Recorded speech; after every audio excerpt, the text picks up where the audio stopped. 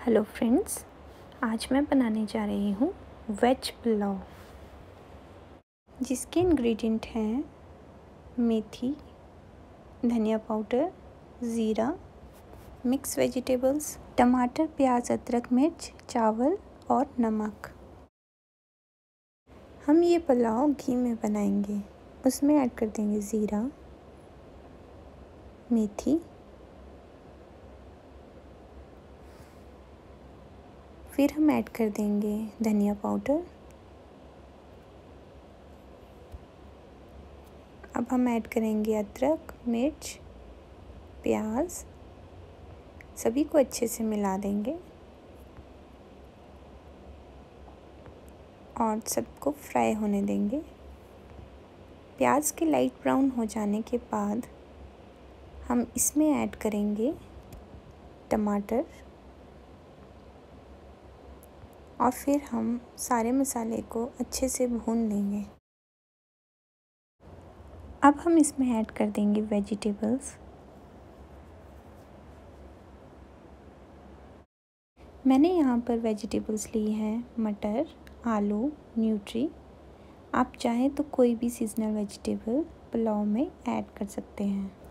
अब हम वेजिटेबल्स को मसालों के साथ मिक्स कर देंगे और इसे धीमी आँच में सॉफ्ट होने देंगे। वेजिटेबल को थोड़ा सॉफ्ट होने के बाद हम इसमें ऐड कर देंगे भीगे हुए राइस हम जो राइस पुलाव के लिए यूज़ करते हैं, उसको 15 से 20 मिनट तक भिगो देना चाहिए, ताकि जो हमारा पुलाव बने, वो खिला खिला बने। अब हम राइस को वेजिटेबल के साथ अच्छे से मिक्स कर देंगे। अब हम इसमें ऐड कर देंगे नमक। नमक आप अपने टेस्ट के अकॉर्डिंग इसमें ऐड कर सकते हैं। अब हम सभी को अच्छे से मिला देंगे। इसके बाद हम ऐड करेंगे इसमें पानी। पानी की क्वांटिटी हम राइस के अकॉर्डिंग रखेंगे। जितना राइस है, उससे डबल हम इसमें पानी डाल देंगे। पुलाव में बहुत सारी हेल्दी वेजिटेबल ऐड की गई हैं। इसीलिए पुलाव न्यूट्रिएंट और विटामिन रिच होता है और ये खाने में बहुत ही लाइट होता है। अगर आप कभी लो फील कर रहे हो या फिर कुछ लाइट खाना चाहते हो तो आप पुलाव ट्राई कर सकते हैं। अब हम इसे एक से दो सीटी तक पकाएँगे। सीटी राइस की क्वांटिटी पे डिपेंड करता है। अगर कम राइस है तो हम ज़्यादा सीटी देंगे और अगर ज़्यादा राइस है तो कम सीटी देंगे। अब पुलाव बनके तैयार हो गया है। हम अपनी गैस को ऑफ़ कर देंगे और कुकर को थोड़ी देर ठंडा होने देंगे। कुकर ठंडा होने के बाद इसे खोल देंगे। हमने आज पुलाव देसी घी में बनाया है।